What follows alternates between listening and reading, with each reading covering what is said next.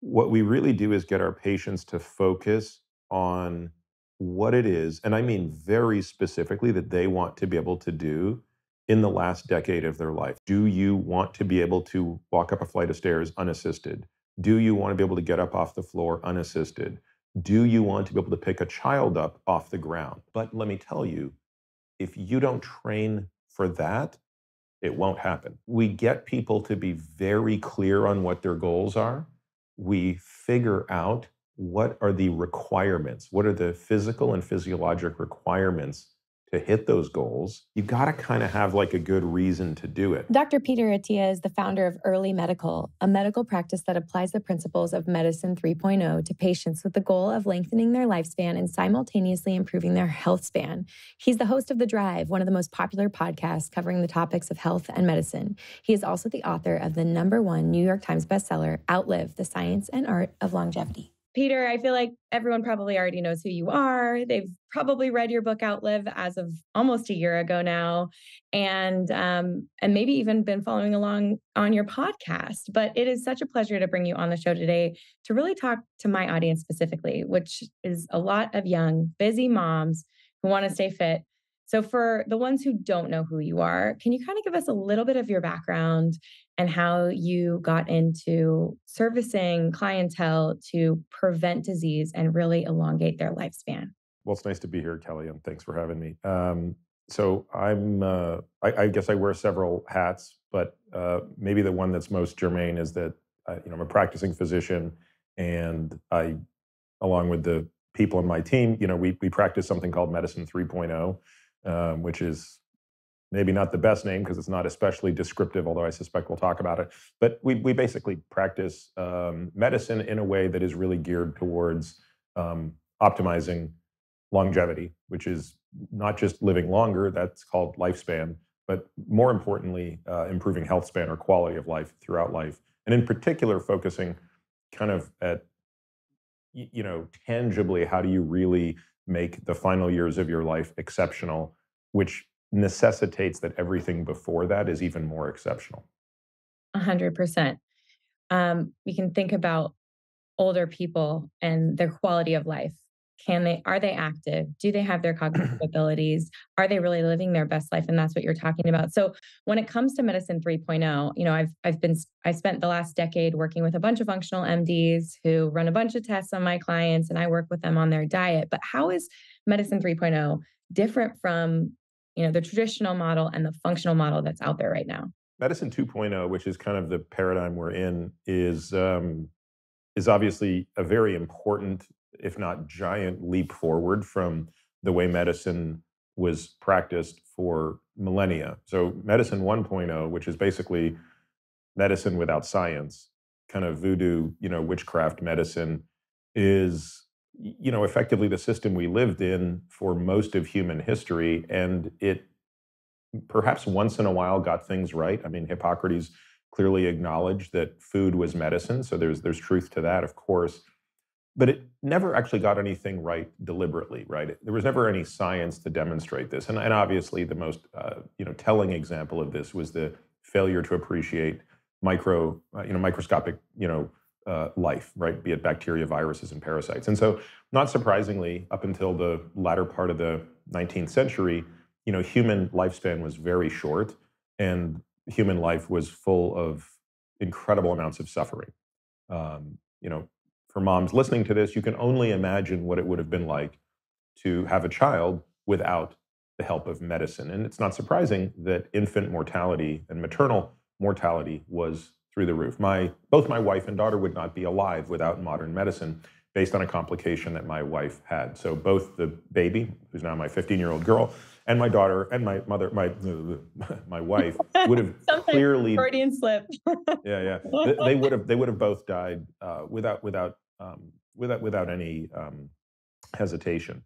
And so um, between you know addressing the challenges of um, having children, and then obviously addressing the challenges of infectious diseases, in the span of about four or five generations, human lifespan has doubled. So all of that falls under the guise of medicine 2.0, and it is truly remarkable, right? So the ability to take care of infections and acute problems and childbirth. Those are the big three things that have uh, literally uh, doubled, if not slightly more than doubled, human lifespan. Okay. Um, so why would we even entertain moving to something called medicine 3.0? What's wrong with medicine 2.0? Well, medicine 2.0 has, for all of its successes, basically had very little success against chronic diseases. And in large part because we've done so well at treating acute conditions, we're now left with a situation where, you know, frankly, most of us are going to die of chronic conditions. And that's been true for 100 years, but we haven't actually made progress to much of an extent in those chronic conditions. And so, what Medicine 3.0 hopes to do is actually come up with a new paradigm. So, just as Medicine 2.0 was a complete shift from Medicine 1.0, um, medicine 3.0 needs to kind of be the same to that. And it needs to hang on to the things that medicine 2.0 does well, but it needs to really go many steps further. Um, so I'll give you three areas in which I think that's necessary. So uh, the first is in what do we measure? Because uh, what gets measured gets managed. So in medicine 2.0, not surprisingly and totally reasonably, the metric of interest is lifespan. Mm-hmm. Right. So if you think about what people talk about in medicine, they talk about mortality, all cause mortality, life expectancy. These are the variables of interest. I just did it a minute ago when I explained how lifespan doubled. Yeah. And so what gets measured gets managed means that when that's the metric of interest, that's what the system focuses on extensively. And what I would argue is that in Medicine 3.0, we should be focusing much more on health span. So cognitive health, physical health, so the actual robustness of the physical body, so strength, endurance, flexibility, balance, these things, and emotional health. None of those things typically get talked about in the traditional medical system. And therefore, it's not a surprise that given that your doctor probably doesn't know your VO2 max or you know any metric of your strength or muscle mass, why would they then be expected to manage those things? Second component is in medicine 2.0, the, the, the benchmark, the foundation upon which medicine 2.0 is built is that of the randomized control trial. And the randomized control trial gives us something called evidence based medicine, which has given us many wonderful things. But it is a system with limits. So, evidence based medicine assumes that you can actually run a, a, clinical trial that will answer a question. It also takes very heterogeneous data. So, you look at thousands of individuals, you look at the statistical average of those, and you give sort of homogeneous recommendations, which on average work, but clearly don't work at the individual level, given the heterogeneity of responses and individuals that went in. And so, what we want to do is sort of evolve from just a mindset of purely evidence based medicine into one of evidence informed medicine, where we use not just the findings of randomized control trials, but we look maybe a little bit deeper at some of the other data, both mechanistic and partition data within these RCTs to get a more nuanced approach for how to treat a given individual. The, the next major principle then is the, the timing of when you apply the tools, which I assume we'll talk about. And this is, again, an area where the playbook for Medicine 2.0 um, is based on its early successes, which is you treat the problem acutely. Mm-hmm. When the problem arises, you treat it. Um, and again, that works pretty well for acute problems, but it doesn't work well for chronic problems. So you don't, you know, by the time a person has a heart attack or has a significant burden of cardiovascular disease on their angiogram, um, it's not that you can't make a difference by treating them, but you've missed an enormous window. The window to really treat them was 30 years earlier. The right. same is true with cancer. The same is true with Alzheimer's disease. So anyway, I've said probably a little too much, but but it is it's an important concept, and I and I think it's um, it, it it it underpins everything we'll probably talk about. Yeah, can we can we talk about some of these chronic lifestyle diseases that the majority of Americans are are dying from, and and how what are you know medicine 2.0 how it's missing the mark some of the maybe it's heart disease and statins or or where you know, where it's failing so I call these things the four horsemen, right? So there are these four chronic disease buckets that, again, most people listening to us and watching us are going to die from. Um, so, you know, at least statistically speaking, this is how most people in the developed world uh, die. So it's you know first and foremost cardiovascular disease, so heart attacks and strokes. Uh, second, cancer. Uh, third, dementing diseases and neurodegenerative diseases. So that's Alzheimer's disease and other types of dementia, along with neurodegenerative diseases outside of dementia, such as Parkinson's disease.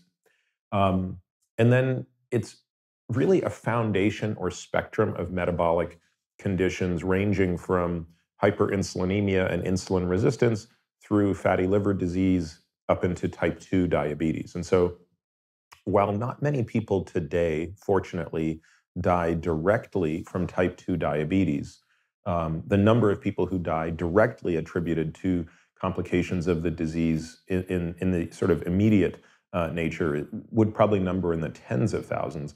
But it's that when you have type 2 diabetes, or frankly are anywhere along that spectrum of metabolic disease, your risk of those first three horsemen goes up really dramatically uh, to the tune of one and a half to 2x. So 50 to 100% increase in risk. So that's how diabetes kills people. It doesn't kill them today because they become acutely hypoglycemic or you know they die from an infection when they have gangrene in their toe and it spreads. I mean, yes, that still happens, but they're mostly dying from heart disease, cancer, and dementia. Yeah. I mean, I it was personally afflicted by that with my father-in-law, you know, 10, 15 years of type 2 diabetes turned into strokes, turned into dementia, turned into, yeah. you know, not being able to take care of himself and and unfortunately we lost him, but like that type of health span at the end is so hard to watch and it costs our healthcare system millions and billions of dollars every single year. And I think what, you know, what's funny, I was reading your book last March when it came out, driving to Mammoth. My husband's like, why did you bring a textbook? well, it kind of looks like one, but there are a lot of strategies and tactics that you provide in your book, Outlive, that help us all avoid that end. Um, so can we? It, it's interesting to me the way you've you've put together your tactics as exercise being the first. Can we can we sort of talk through the four tactics that you talk about in your book, starting with exercise, and and you can you tell me why you started with exercise first? Yeah, so I really only included four of the kind of domains in the book exercise, nutrition, sleep, and emotional health. I didn't write an entire chapter on the fourth one, which of course is pharmacology. So, you know, that includes everything from, you know, medications to hormones to supplements. Um, although there's a little bit of that sprinkled in there, but um, that then it would have turned into a textbook. um, so, yeah, I think the reason I, I I start with exercise and exercise gets three chapters, so it actually gets more discussion than any other topic in the book as far as interventions go. Um, is because you know there is no intervention that has demonstrated, uh, and that includes all of the medications that I don't even go into great detail on. But there's no intervention that has a greater impact on both the length of life and the quality of life. Um, and I go so far as to say that even if exercise had zero bearing on your length of life, what even if it shortened your life by a year, mm-hmm. right? All this exercise shortened your life by a year. I argue it would still be worth it given what it brings in terms of quality of life as you age. So the fact that it not only does that, but also elongates life more than anything. And it's not close, by the way. It's like it's one of the, you know, once in a while, biology gives you things where the answer is just so abundantly clear. You don't actually need statistics to parse it out.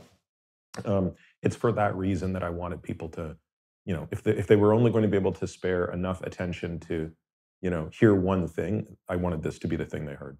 Absolutely. And there's so much dense research there. Is a specific study or um, randomized control trial that you feel like really like slammed the nail with the hammer uh, in regards to to being proof in your pudding as to why we should be active and what are what are some of the your favorite pieces of research there that could motivate the audience to get going especially if someone's had children recently or have, has gotten out of the routine and like wh- where's the motivation? Because i feel like science is my biggest motivator when it comes to showing up and, and creating habits in my life for my family.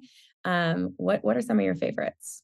So that's actually in in some ways what makes it so remarkable is there is you don't need there, there isn't just one study it's the overwhelming body of the literature that is so consistent and for example this is where exercise and nutrition are so different, right? In the field of nutrition, you can look to a certain relatively small number of studies that have, you know, really changed the way we think about things. I would argue that the Predimed trial, um, which we can maybe talk about, is, is a very important study in nutrition, but it stands out in a sea of noise as a signal. And in uh, you know, in nutrition, we have this problem where the epidemiology never points in the same direction. So, you know, it, everything basically cancels everything out. And that almost assuredly speaks to the fact that none of the signals are very strong. Mm. That's why one day eating red meat looks bad and another day eating red meat looks good. That's why one day drinking coffee looks bad and another day drinking coffee looks good. It's because the effect size is so minor and there are so many confounders that play a larger role that this is not really the way to do serious inquiry. Conversely, in exercise, the epidemiology is always, for the most part, screaming in the same direction. Um, and so when you look at the largest cohorts, um, not only do you see consistency in magnitude and direction, um, you see an effect size that is, even if the effect size itself is a little bit big, um, and maybe bigger than what it would be, you know, in real life, um, you know that there's a real signal there.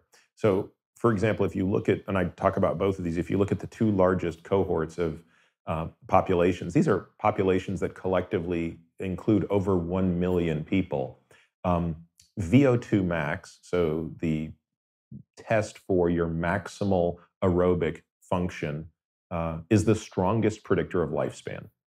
So again, two completely different populations, two different methodologies, both come to the same answer, which is, you know, VO2 max, uh, having a very high VO2 max is more predictive of a long life than anything else. And conversely, having a very low VO2 max is more predictive of having a very short life. And that's even when you compare it to, for example, smoking or type 2 diabetes or high blood pressure or any of the other things that we see are clearly associated with a shortened life. The same is true with metrics like muscle mass and strength. Uh, in fact, if VO2 max is the highest uh, association with a long life, the second highest is a high degree of strength. And this can be measured in a number of ways. But the studies that look at this, either using grip strength or using, you know, leg strength, wall sits, various sorts of tests, they, they point to the same thing. And um, perhaps somebody listening asks, why is that the case? Like, why would being strong and having high cardiorespiratory fitness measured by a VO2 max test be important? And the reason is that those are some of the least malleable biomarkers we have, right? They take a long time to change, because they take a long time to do the work to see the change. So when if we have a patient that comes in and they're very weak and their VO2 max is very low, you know, we walk them through the rationale for why we want to see these things improve dramatically. But we set realistic expectations, which is this is not something you're going to fix this year. You know, this year we will improve, no doubt, but this will take many years to get you in the, shape that it would take to be in the top, you know, five or 10% of your age and sex.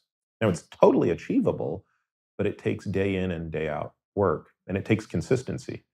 And so when you see a person with a high VO2 max and high strength, what you are looking at is a person who has done a lot of work.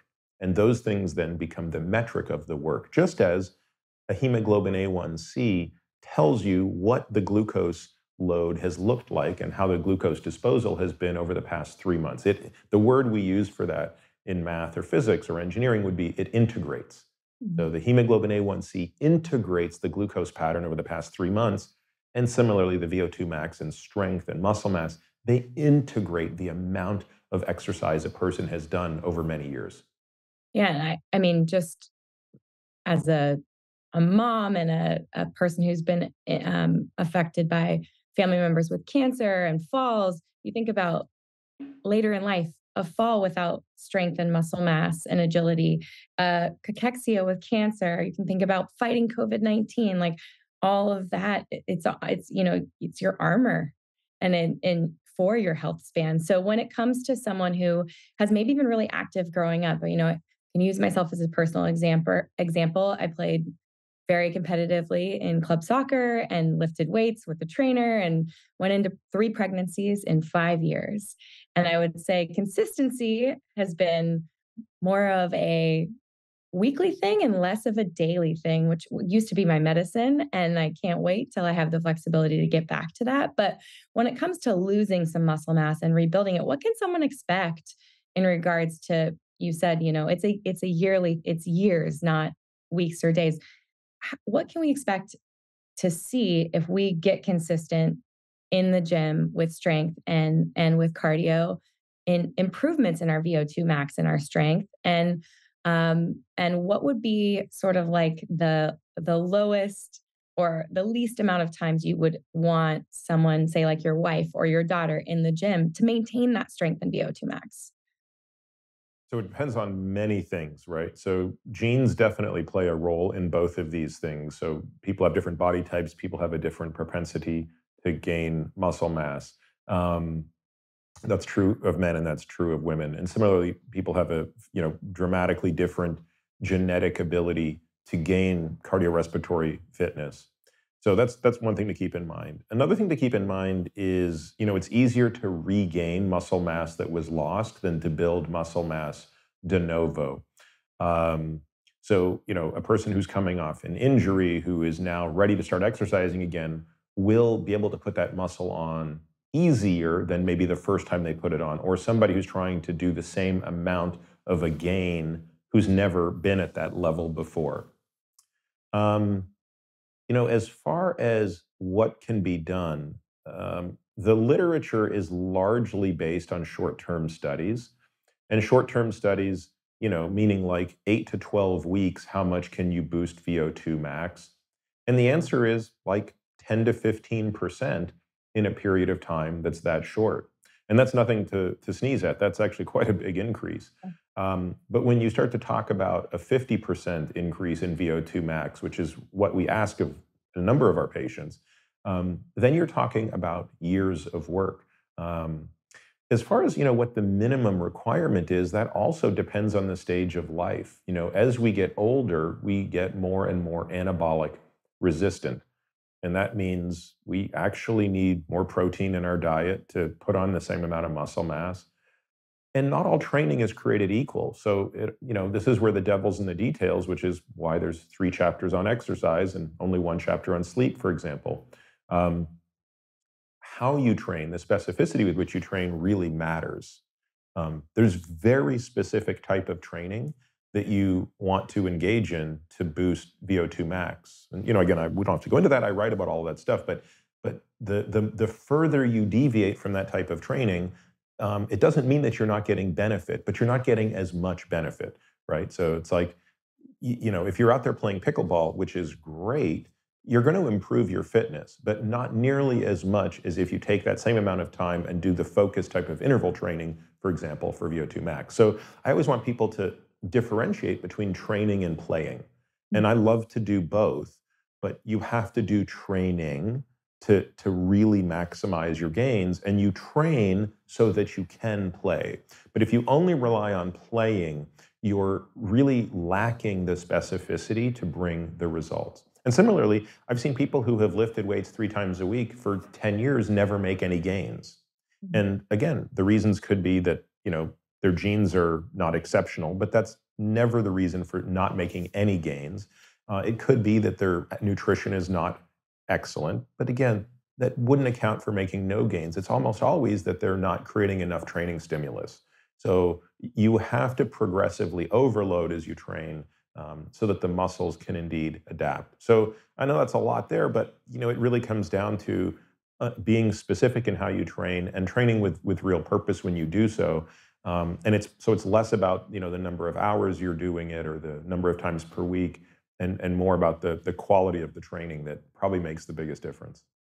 It's funny that you say that because when I when I have clients and we talk about training, I ask them, "When was the last time you were sore sitting down on a toilet?" Because that gives me an idea, even if they're active, if they're if they're actually feeling or changing their muscles. Because a lot of times someone will have trained for years, like you say, and they just are at their stagnant point and they're not seeing changes. So for you, when a patient or a client comes in and you're asking about their exercise routine, what are some questions that you're curious about in regards to how often they're training or to understand if they're if they're going to see those changes? And and specifically also with nutrition um, you mentioned increasing protein as we age. Can we talk a little bit about kind of pinpointing where you think the problems might be with a patient to the exercise question I, I mean you know i do an intake with patients our exercise team does a deeper intake with the patients um, and we want to know everything right we want to know what they're currently doing what their history is uh, what their training age is, right? So, you know, have you trained for a long time in your life? Have you trained hard for your life? Is training a relatively new thing for you? You know, all of those things. Um, what are the asymmetries and injuries that have resulted from your training history? Um, and then, do you have any other objectives besides, you know, living longer and living better? What does living better mean for you? So we have this thing called the centenarian decathlon, which is this model we use to help people think about a goal. Because for many people, I think you know exercise is just an abstract idea that you know we sort of do it because it's good. Um, but for most people, that's not enough motivation. They need more motivation to do this thing that outside of sleep takes more time than anything else you need to do to impact your health and clearly takes more effort. Sleep takes no effort for the most part, but exercise takes a lot of effort. So you're putting a ton of time and effort into this thing. You've got to kind of have like a good reason to do it. And what we really do is get our patients to focus on what it is, and I mean very specifically that they want to be able to do in the last decade of their life. And some of those things are activities of daily living. So do you want to be able to walk up a flight of stairs unassisted? Do you want to be able to get up off the floor unassisted? Do you want to be able to pick a child up off the ground? And then some of those things might be very sports specific. You know, someone who's an avid skier in their 40s or 50s might say, I still want to be able to ski in the last decade of my life. Now, I'm not going to be going down, you know, ripping moguls, but I'd like to be able to go down the bunny slope with my grandchildren. Love that. Now, that's a very realistic goal, but let me tell you, if you don't train for that, it won't happen. Mm-hmm. You will, you know, you will, as you alluded to, you will experience the sarcopenia, the loss of balance, the loss of strength and power that will prevent you from being able to do any of that stuff in the last decade of your life. So um, we get people to be very clear on what their goals are we figure out what are the requirements, what are the physical and physiologic requirements to hit those goals. And then we back out knowing the rate of decline of those metrics, where they need to be earlier in life.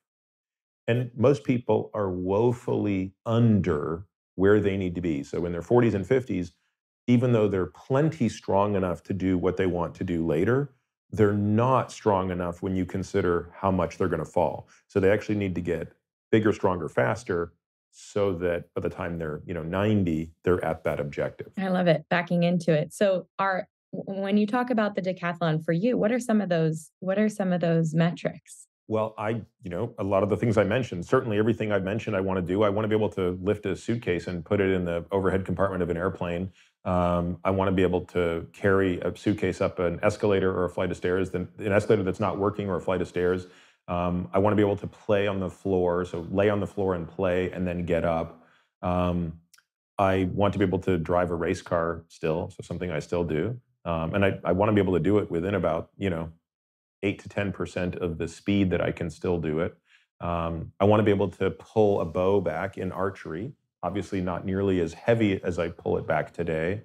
Um, and I want to be able to walk unassisted over, you know, relatively, you know, rough terrain, not necessarily mountains, but, um, you know, I, I don't want to only be able to walk on a smooth surface. Um, I'd like to still be able to swim half a mile. Um, and, and I have a number of other things like that. So it's, it's pretty ambitious stuff for someone in their 80s or 90s, no doubt. But you've set you've set the goal point and you're able to work back. So what is some of the daily activities that you're doing to maintain that strength and agility to be able to say hunt on some crazy terrain in your 80s? yeah, so it's, you know, first of all, it's knowing that a big part of that is, you know, strength, balance, um, endurance. And I know how to train those things today. So, for example, I know that I really want my VO2 max to never be below, you know, the high 20s, right? So I never want my VO2 max to be below about, you know, 28. In an ideal world, to be able to keep my VO2 max at 30 in the last decade of my life would be remarkable. A, a VO2 max of 30 allows you to do most things. Now, if a person shows up in my practice and they're 50 years old and their VO2 max is 30, that's a four alarm fire, and it happens quite often. Because if your VO2 max is 30 when you're 50, and it's going to decline at you know at least 10, if not 15% per decade, well, that's a person who's going to be in the teens in the last decade of their life. And once your VO2 max is in the teens, you have a hard time doing anything it's a chore to just walk from the car to the grocery store, let alone push the cart back to your car. So that's, you know, for example, knowing all of that, I know where I need my VO2 max to be in my 50s, where I am today. And I know how much strength I need to have today. And I know how much I need to be able to work on things like lower leg variability and reaction time and balance, because those things are declining. Um, but you know, there are some very specific types of exercises we do to challenge ourselves and build up movement reserve. This is very similar to what you do with your brain. Uh, nothing is a better predictor of dementia avoidance than cognitive reserve. So, the higher a person's cognitive reserve, um, the more likely they are to not notice or at least you know stay keep their glider up as cognition declines and and there's you know non-pathologic decline in cognition that we all experience. So you know we all experience this shift in intelligence from fluid intelligence to crystallized intelligence. We experience a reduction in executive function uh, and processing speed and memory. But the more challenged we are and that doesn't necessarily mean doing the same thing over and over again like a crossword puzzle. Um, but it means you know reading more books you know, being more cognitively engaged in the world, um, the higher our cognitive reserve, the more of a buffer we have to that decline. Right. It's it's that hormesis in training and hormesis to the brain. Like, just get yourself to a place where you're so focused and tired and burnout, and and that's where you're that's where the growth happens. Right. So for for moms with young children, I think about you know I feel so lucky honestly that my parents put me in sports and they you know in the times when i didn't want to go they made me go because not only was it the place where i found my best friends and camaraderie but it became a, a source of physical confidence and strength for me as a child through all of it through high school through college through extended learning all of it and I, I think it's the biggest gift that we can give our kids. For parents whose children or um, young teens want to pull out of sports or aren't as physically active what recommendations do you have for them? Because you talk a lot about like physical fitness and the age of an athlete. Uh, what, what can we be doing with our kids to ensure that they have that muscle memory later in life when you know maybe they're in med school or they just had a kid and they they can't be as active as they normally are? Yeah i mean look, I, I, think that sports come in all all shapes and sizes, and so you know, if if a kid does like, and I look at my three kids, I mean, they're totally different in terms of the sports that they love and that they like, and you know, I would say, you know, um, they certainly love you know traditional sports, but I, I'm also trying to infuse in them, as is my wife, a sense of like what exercise is all about and what um, you know how that's something you do for life. So you know my daughter who's 15 loves volleyball. That's her favorite sport. Um, but we sort of you know explained to her that look you're probably not going to play volleyball for your whole life. Um, in yeah. fact there's a pretty good chance you're not going to play in college truthfully. Let's be completely honest right? And if you do it'll be rec and that'll be great. But then at some point you're going to be out of college and you're probably not going to be playing volleyball. Mm-hmm. so what will you do to stay healthy Mm-hmm. And you can see what your mom and your dad do. um, and you may adopt something else but you know we like having our kids around when we exercise and there's just kind of an osmosis around the you know the fun of the workouts especially on weekends when you know we'll we'll do sort of we'll do workouts together and it's kind of like a game you know you're timing things you're running around pushing this doing that um, so it's almost like you're i don't want to say you're tricking them but like it, it's they understand that we're there exercising but it's not maybe as rote as some of my workouts are where i'm really trying to be specific and dialed in. Like i you know i don't think my kids would want to join me on my interval training sessions on the bike uh, even if they could keep up because that's you know maybe that's a step too far but you know standing on the sled while i push it back and forth and then getting their own little dumbbells and walking back and forth with me that's something everybody can do right well i will say you know it translates from the nutrition research that i've done with kids which is modeling modeling and exposure is the best way to encourage your kids to follow in your footsteps and without you know nagging them or just yeah. communicating about it, it, it has way better outcomes. So it's no surprise there. And what a great way to to have a build, build a relationship with your kids in an active way. I mean, some of my best memories are actually skiing Mammoth with my dad. And I remember him, you wouldn't like this, but he would train for a specific amount of time in our little uh, in his little like garage gym just to ski. And then when skiing season was over, he wasn't very active, but at least I did see that.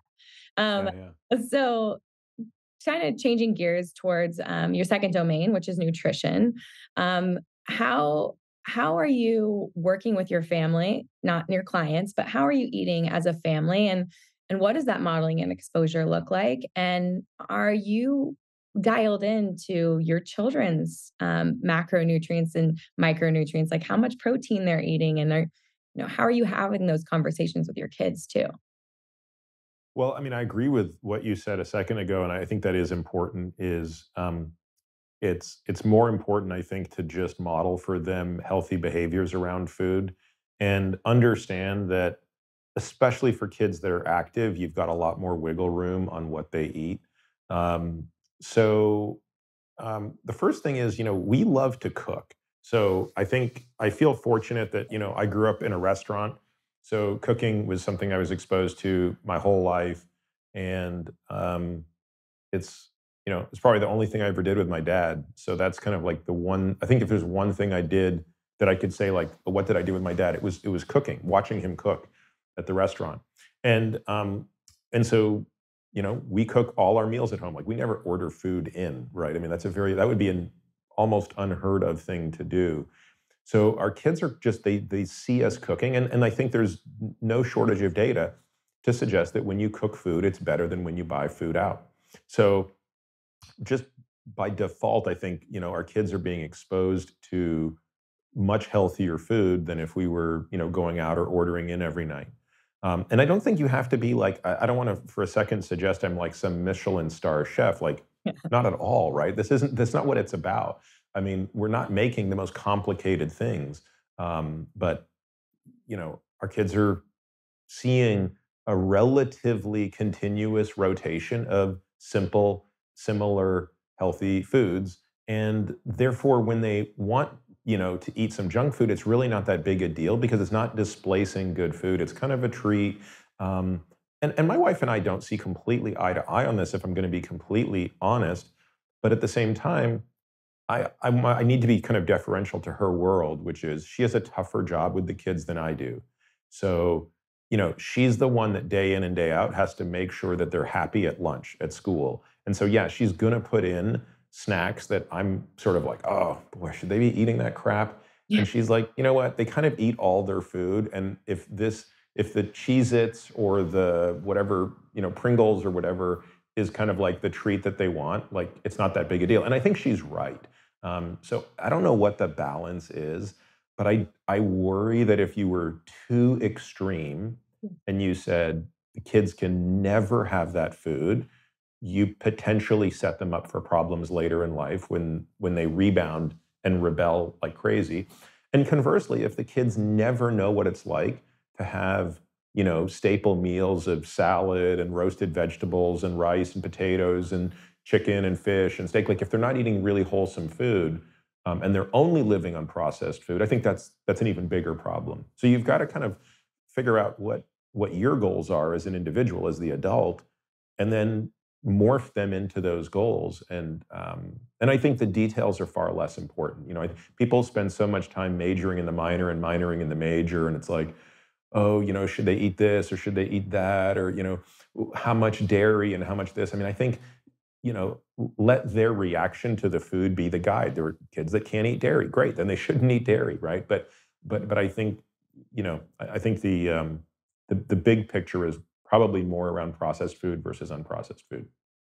I, I love your big picture view because I can commiserate with your wife. It's a losing game of whack a mole when it comes to what they're being served at a sporting game as a snack or what is coming home in the school lunch or what people are trading at the lunch tables, whatever Right. the case may be. It, it really, if if we can focus on putting those good whole nutritious foods on the table as often as possible, we're we're pushing out the other stuff. And that should be the overarching goal for sure when it comes to your children's independence and confidence in the kitchen, like you were in the kitchen with your dad, are they getting exposure to being able to cook these meals? And and what are some of the examples of your favorite nourishing meals that your family makes together or your wife makes for or you make for your kids?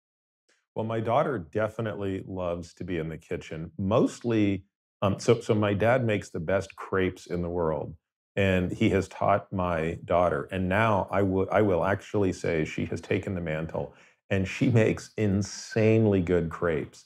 Um, so she mostly loves to bake, but you know she also makes a really mean set of mashed potatoes. The my boys who are nine and six aren't yet into kind of cooking, they're but they're very much into consuming. Yeah. And you know, so um, one of the things we eat a lot of is wild game because, as I alluded to, I love bow hunting. So we have four freezers worth of elk, venison, you know, antelope, and things like that. And so my kids have developed a great palate for this type of meat, which is different from store-bought meat, right? So wild game is a very lean, these are very lean animals, right? Um, so it it has a different taste. Um, and and I love that taste, but it takes a minute for someone to adapt to a meat that isn't marbled with fat. And it's not to say that there's something necessarily wrong with fatty meat. I think every meat has its place. Um, but what I love most about wild game is not so much the leanness, but it's the belief that I have that an animal can't be healthier than you know than the food it's eating right so wild animals are eating wild foods and they're you know they're living a life where they're actually allowed to exercise and run around and deal with all the horrible and wonderful things of being wild animals. We shouldn't represent this as like blissful. Uh, nature is brutal. Um, but i think that that's a very different type of animal and a very different state of health than maybe the animals that are you know farmed and things of that nature. So um, i guess the good thing is my kids really like that. They they they just think it's normal. Like tonight we're having elk, tomorrow we're having venison, you know, we're going to have antelope and you know, the meatballs are made of elk and you know, so I mean so it's just kind of different. And now I realize like not everybody has access to that. Even if you don't hunt, it's not necessarily easy to go and buy um, wild game. Um, it just takes a little bit more effort. But I think everybody can probably find better sources of food, both in terms of their agriculture, so you know, moving more towards um, regenerative products um, eh, than you know just sort of buying the most convenient thing out there. And yeah, the first thing someone might say is, "Well, it costs more," and I think that's right. It does, um, and I think we just each of us have to make a decision about like how do we want to allocate our resources. Um, but I think anytime you're investing resources in your health, and the most important resource is time but then of course it's it's money. Um, those are those are investments that pay off, um, and I think that's obviously true with your kids. 110%. I mean, for those people who aren't waiting for a tag and aren't bow hunting their wild animals like you are, I really have to give kudos to Force of Nature because they've that's an awesome company actually out of Texas that is a regenerative company that does Mm, ancestral blends with organ meats, they have venison, they have bison, they have elk. Um, and my kids have been exposed to that gamey meat, which is something that my husband won't even eat because I think, you know, well, the research does show us that the flavor window is up to 18 months. But the earlier we can introduce these foods, like you are with your children, all of these gamey meats, all of these vegetables, the more they have a palate for it later in life and and an openness to eating those type of, of meals. So if anyone's listening is looking looking to put some elk or venison meatballs on their table, I think Force of Nature is a great place to start. Um, well, I'll, I'll, even make another comment on that. So for your husband, for example, um, you know the type of venison matters, right? So whitetail is very gamey. Uh, axis deer is not, right? So you can also be thoughtful about what type of animal you use. And, and one of the things that I was doing with my family when I started bringing this on board was I would do a 50-50 blend. So if I was making burgers out of venison, I would use uh, you know two pounds of venison and two pounds of beef, just to kind of start easing them into it. And of course, now I mix venison and elk, right? So I'll you know, and and and, and nobody says a word. Um, so it, you know, there's also a way to, to, to way to kind of do that. I love that. Great tips. So in your book, you talk about how um, you know eating more calories than we need puts a strain and also a strain on blood glucose levels, di- displaces nutrients, and this is like a major concern. And you alluded to it being a problem lower down on the list, but metabolic issues. When you're focusing on nutrition, how important is energy intake and calories and how important is blood sugar regulation and metabolic health and you know this is obviously a huge fight in in the nutrition space but i i think you have a, a great way of wrapping our heads around it. So can you can you talk a little bit about that? Well they're both really important. So the question is probably one of where do they overlap where do they differ and where is causality? Now, the more common thing that I find people arguing about is what matters more, the total amount of energy intake or the macronutrient distribution, what constitutes that energy intake. Mm.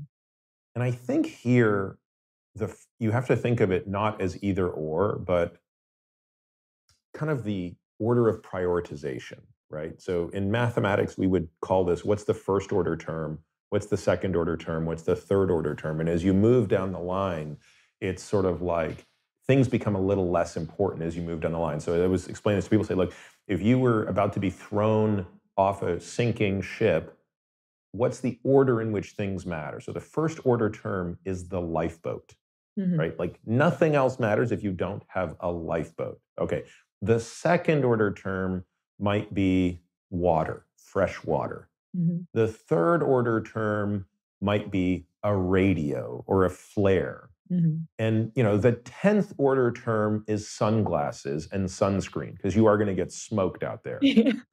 so does that mean that the sunscreen and the, you know, the sunglasses don't matter? No, they just don't matter as much as the nine things in front of them. So through that lens, I would say the first order term is total energy intake the total number of calories consumed is probably the first order term. And if it is in excess, it probably doesn't matter as much what makes it up. So, a perfectly wonderful, regenerative, whole foods, plant based diet that is a thousand calories a day too much is still going to be a huge problem metabolically. Mm-hmm. Now, What's interesting is there's a reality to this that transcends just the artificial thought experiment that I gave. Because the truth of it is, if you're really eating wholesome, real foods, it would be very difficult to overeat them to the tune of a thousand kilocalories a day. Mm. So while we can think about that as an experiment and even design experiments where we do that, if left on their own, most people wouldn't be able to do that. Conversely, if I said, you know, and I think someone's even done this, you put somebody on a junk food diet, literally, you put them on McDonald's and Kit Kat bars, but you do it at a caloric deficit, they will actually, in the short term, get healthier. Now, these experiments haven't been done over the long, long, long term, but clearly over the short term, three to four months, they will improve And that is kind of proof positive that the caloric deficit is the first order term. Now, what again? Why would that not work in the real world over the long haul? Well, notwithstanding the fact that they're probably deficient in so many micronutrients, it would be very difficult to remain satiated and continue to consume in modest quantities if you're eating a diet that is basically a hyper demonstration of crap. So, when we really think about ad libitum eating in the real world, we probably want to think that you know nutrient dense foods trump nutrient poor foods, foods with less processing trump foods with more processing, foods with less sugar in them and less salt in them and less um, artificial fats in them. And by artificial, I mean fats that are injected as preservatives as opposed to fats that exist naturally in the, like, you know, eating avocado and, you know, that's high in fat, but it's sort of naturally fat versus when you're looking at something that has hydrogenated oils injected into it to preserve its shelf life. Mm-hmm. So that's probably why the obvious seems obvious. But again, what I think people get lost in and I don't envy you because this is your world and not mine, is it's the my diet versus your diet, this tribe versus that tribe. Um, and I, I just have a general rule for my patients, which is as a general rule, if a packaged food has a name diet on it, like keto bar, vegan bar, like it's actually probably not something you should eat. Yeah. You know, it, consider it a treat, but not a staple of your food. Right. Yeah, I mean, uh, I could easily put myself out of work if people made their own meals at home and made them from whole foods and got outside in the sun, moved their bodies, and got some good sleep.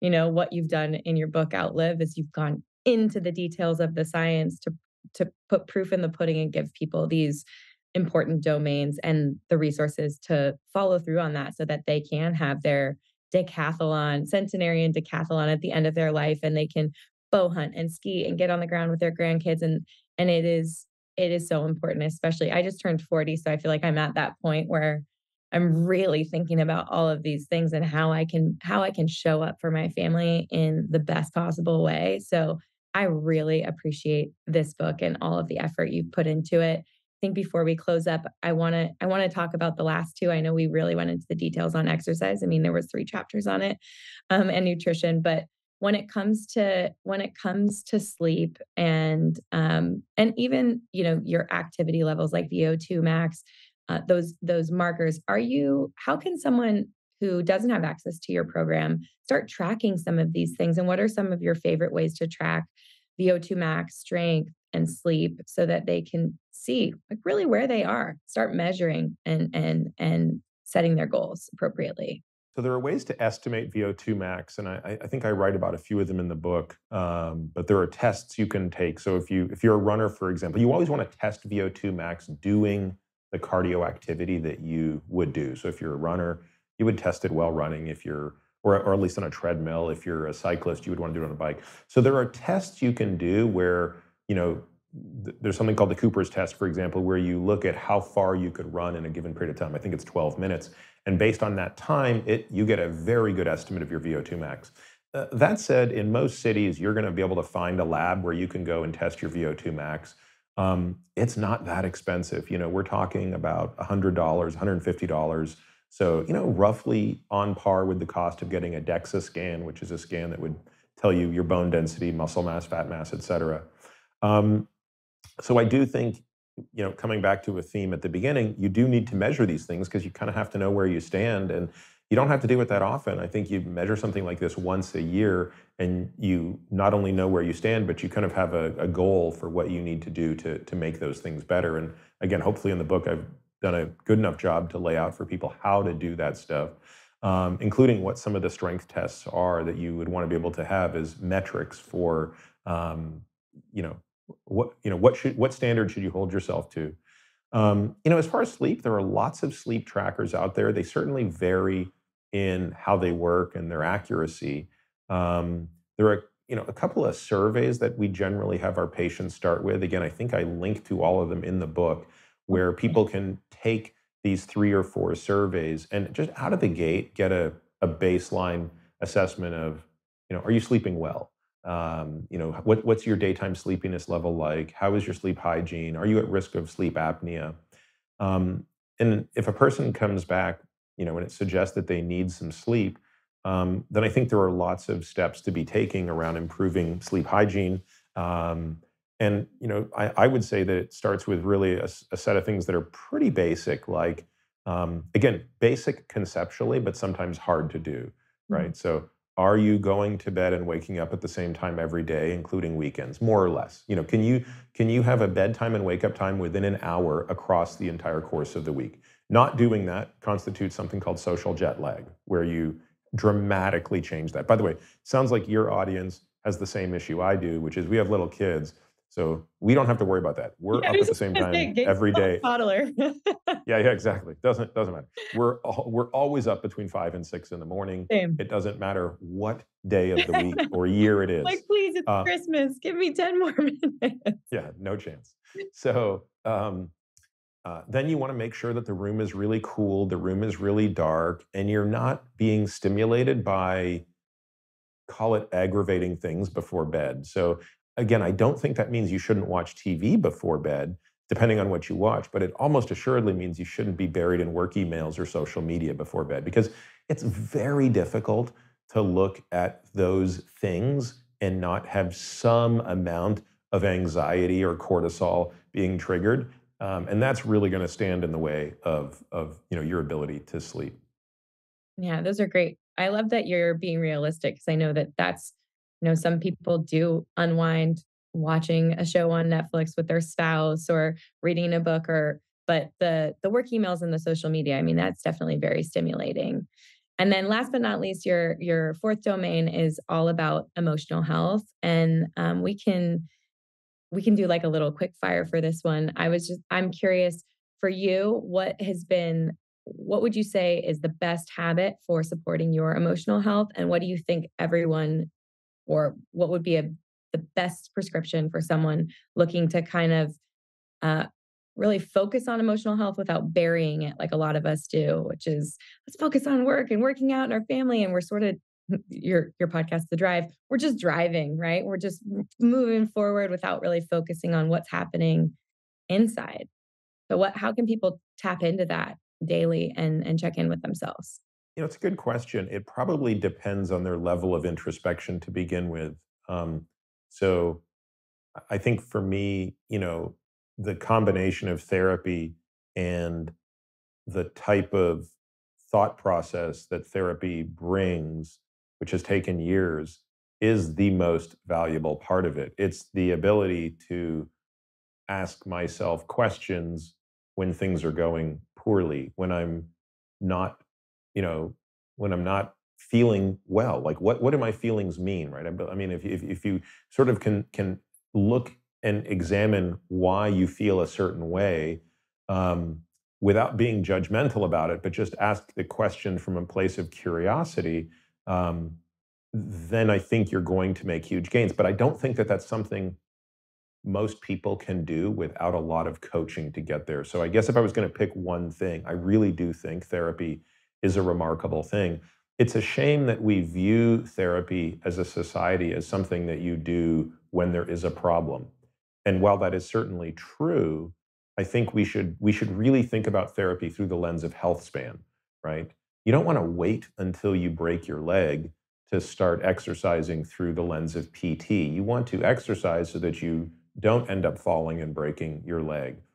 And similarly, although it's hard to convince people of this, I don't think you should wait till you have a crisis to go and get therapy. I think it's great to find a therapist who you really connect with, who really challenges the way you think, um, and who really gives you a different way to look at both yourself and others um, and you should do that long before there's a crisis so that you can start to build um, the you know emotional tools to to deal with with distress as it comes your way which invariably it's going to it's a phenomenal advice i really i really wish that it wasn't so there wasn't a stereotype around therapy because it really can be looked at as a life coach a business coach a person who can help you process those traumas and really grow personally to be the best version of yourself. And we can only do that when we get out of our own way. And for a lot of us, we don't even make the time to figure out what's going on upstairs.